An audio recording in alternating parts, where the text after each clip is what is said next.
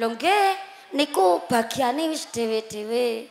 Pramila ya kula panjang sedaya kudu mangertosi. Ku masulin malah wis rawuh urung sak jam aku. Ora apa lah. Resiko iki ditanggung mumpuni niki. Wis ndonga Rajab rumiyin nggih. Ndonga Rajab nggih.